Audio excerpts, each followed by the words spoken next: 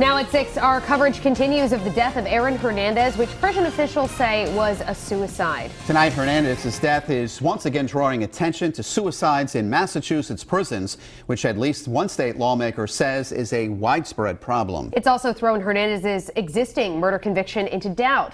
Eyewitness News reporter Steph Machado is standing by live with more on that. But first, Eyewitness News reporter Jared Pliner joins us now live outside the prison in Shirley, Massachusetts. Jared?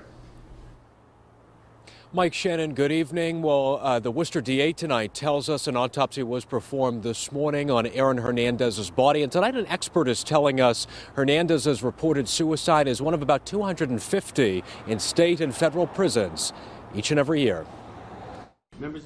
Convicted murderer and once great Patriots tight end Aaron Hernandez is dead tonight. The Massachusetts Department of Correction says by his own hand at the Souza Baranowski Correctional Center in Shirley. Staff found Hernandez in his private cell around 3 a.m. They say he hanged himself with a bedsheet and jammed items into the cell door. State Senator Jamie Eldridge calling for a commission to study prison suicides.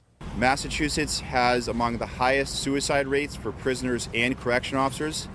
And while obviously none of us have any idea why Mr. Hernandez committed suicide, I really do think this moment underscores the need uh, to reform. In 2010, seven state inmates committed suicide in just half a year, most by hanging or asphyxiation. One of them here at Souza Baranowski. Staff said that 27 year old was found hanging by a sheet in his cell. Three years earlier, seven inmate suicides as well. In 2011, the DOC hired an expert to study the increase in Massachusetts prison suicides. According to an annual report, that produced new suicide prevention instruction at the agency's training academy.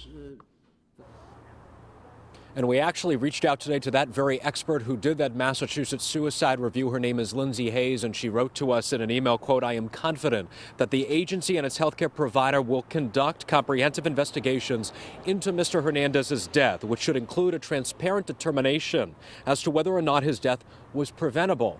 Continues, although not all inmate suicides are preventable, many of them are.